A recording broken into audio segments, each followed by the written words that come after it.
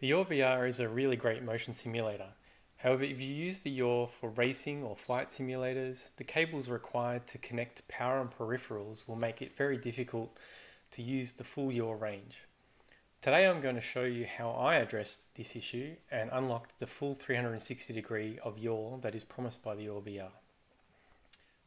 I'm Brian and this channel focuses on a mix of mixed reality, retro gaming and tutorials and reviews that are related to those.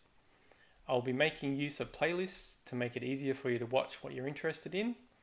And as the audience grows, I will break the content up into separate channels. Please subscribe if you find the content interesting, as it will really help my channel grow.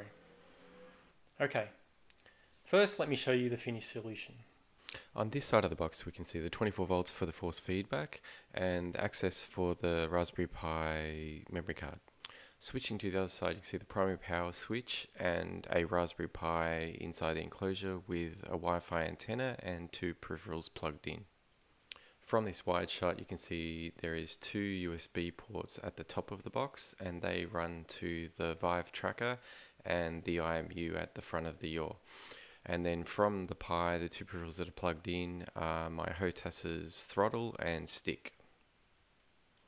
This image shows the internal parts. We have a 24 volt lithium ion battery pack, a Raspberry Pi 2B, a 5 volt buck converter for powering the IMU and the Vive tracker, two 5 volt buck converters in parallel for the Raspberry Pi's power, and then a barrel jack for steering wheel and force feedback, and of course the switch. Into the Raspberry Pi we'll need to plug in the wireless dongle and also we can connect up to three peripherals. Now you can see the negative wiring all the way through from the power pack to the Raspberry Pi and now the positive. And then we have two options for connecting the 24 volts power. So I ran mine directly to the battery as such, but if you like, you can also connect it via the switch like this. Now that's done, let me show you the main assembled parts quickly before I install everything into the enclosure and attach to the Yaw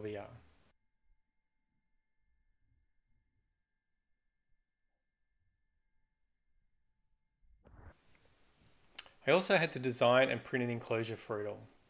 This is in two parts, one for the battery pack and a lid that contains all of the electronics for powering my peripherals. Here's a quick image of the assembled internals including the battery pack. To connect this enclosure to the yaw, I used a center punch to mark out the holes on the backrest of the Pro, then I drilled and tapped them with 4mm bolts. From a fellow Australian comes a piece of software called VirtualHere. Virtual Here allows USB devices to be used remotely over a network just as if they were locally connected.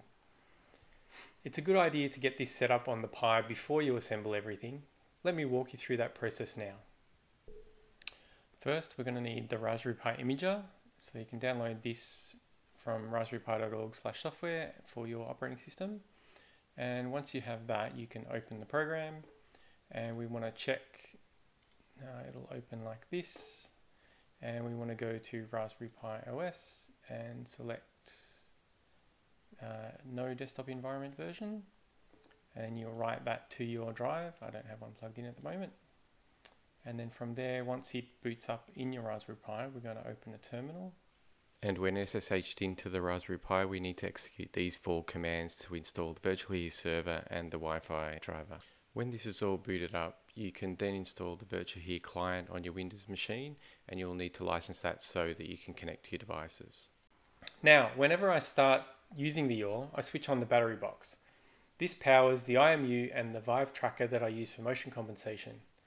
If the game I'm playing requires peripherals, then I start the VirtualHere client on the PC before I start the game in VR. And I'm able to play with only the suspended cable for my HMD coming off the bowl. Until Valve makes a wireless index, this is about as close to wireless nirvana as I think I can get. Thanks for watching. Please click on the bell icon to be notified of upcoming videos and have a great day.